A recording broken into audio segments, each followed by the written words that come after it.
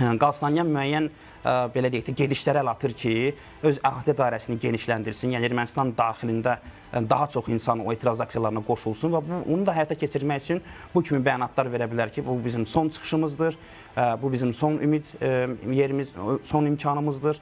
Əgər siz hər biriniz qoşulsanız biz hakimiyyətdə dəyişiklik həyata keçirə bilərik, amma mən bunun baş verəcəyini açığı ən azından yaxın vaxtlarda inanmıram.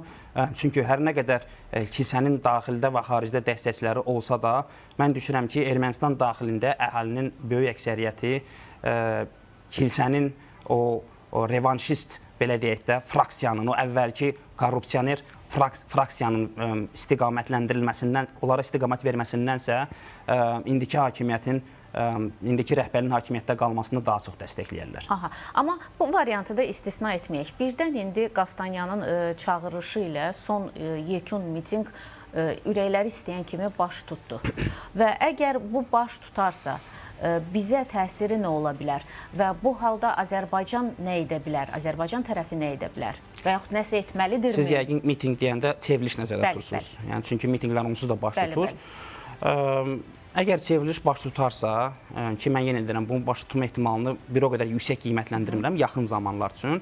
Ə, rəhbərliyə kimlər gələcək? Məsələ bundan asılıdır həm də. Aydındır ki, rəhbərliyə ilkin ağla gələn elə ə, Baqrat Qalstanyanın özü və bu deməkdir ki, Erməni Qriqoryan kilsəsi, bu deməkdir ki, qatı, sağçı, mühafizəkar ermənilər, dırnaqarası böyük Ermənistandan dəm vuran, dənizdən dənizə Ermənistandan dəm vuran,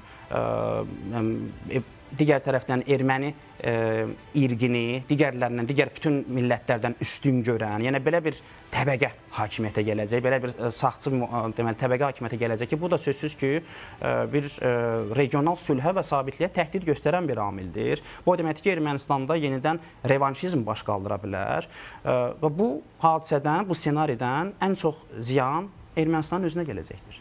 Yəni revanşizm Ermənistanın Ermənistanda revanşizm yenidən əgər tüğyan edərsə bu nə deməkdir? Ermənistan yenidən Azərbaycana qarşı ərazi iddialarını kəskin şəkildə irəli sürəcək. Ermənistan intensiv şəkildə silahlanmanı davam edəcək. Ermənistan Azərbaycanla olan sülh prosesinə baltalamağa çalışacaq.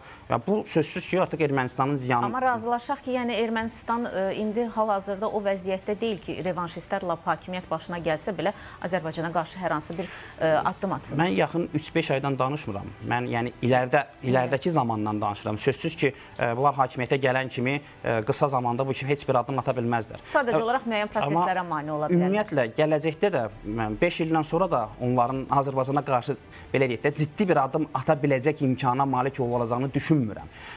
İstər hərbi cəhətdən olsun, istər iqtisadi cəhətdən olsun. Çünki onsuz da təzyiq olunub bu ölkə və revanşistlər hakimiyyətə gəlirlərsə bu təzyiq siyasəti davam elətdirəcək aydın məsələdir. Ermənistan heç bir regional layihəyə qoşulmayacaq yəni.